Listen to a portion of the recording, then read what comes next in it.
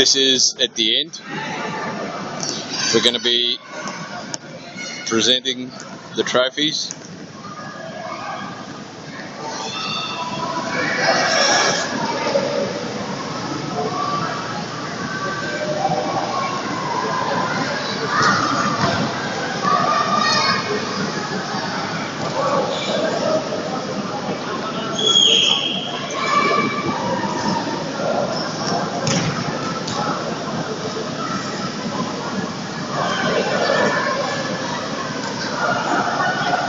Finals, the winners.